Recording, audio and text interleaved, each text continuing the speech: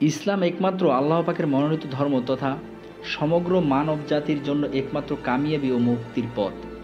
আর ইসলাম শুধুমাত্র গুটি কয়েক আমল যথা নামাজ, রোজা, হজ জাকাত পালনের নাম নয়, বরং ইমানিয়াত, এবাদত, লেনদেন ও কায়কারবার, সামাজিক ও ঘরোয়া আচার ব্যবহার এবং আখলাক ও চারিত্রিক সকল বিষয় তথা সামগ্রিক জীবনে রসুল্লাহ সাল্লাহ আলাইসাল্লাম ও তাহার সাহাবাইকরামদের আদর্শে আদর্শবান হইয়া চলার নামই ইসলাম।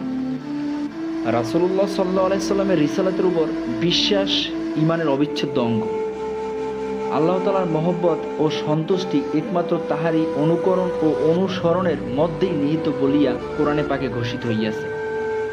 আর রসুল্লাহ সাল্লাহ আলাইসাল্লামের পুত পবিত্র জীবনাদর্শ অনুধাবনের একমাত্র মাধ্যম ও উহার প্রথম বাহক হলেন সাহাবাইকরাম কারণ তাহারা নবী করিম সাল্লাহ আলাইসাল্লামের নিকট হইতে সরাসরি শিক্ষা লাভ করিয়াছেন। নবুয়াদের সূর্যকিরণ সরাসরি তাহাদের উপরই পড়িয়াছে।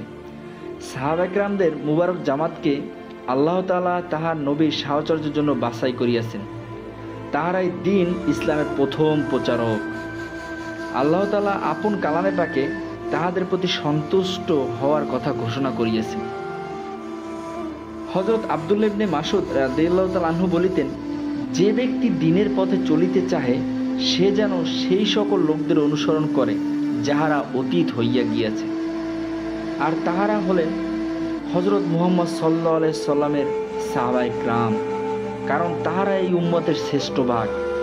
তাহাদের অন্তর ছিল অত্যন্ত পবিত্র এবং তাহাদের জ্ঞান ছিল সর্বাপেক্ষা গভীর। তাহাদের মধ্যে কোনো প্রকার কৃত্রিমতা ছিল না।